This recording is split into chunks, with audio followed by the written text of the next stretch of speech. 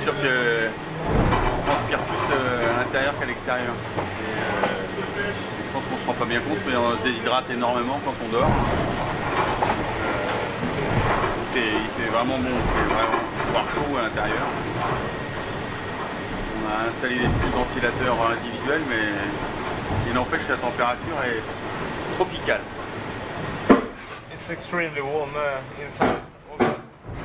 Also, outside, but especially inside it's very very hot. I'm extremely sweaty. We just tacked and it's too warm.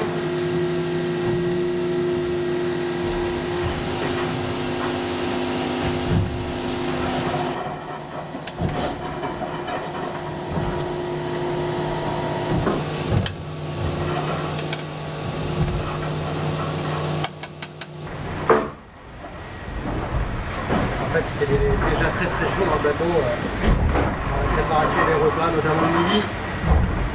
C'est euh, encore plus compliqué. Quand on manœuvre, euh, c'est- on transpire à grosses gouttes euh, tout le temps. Et là, je vous présente notre meilleur ami, le ventilateur.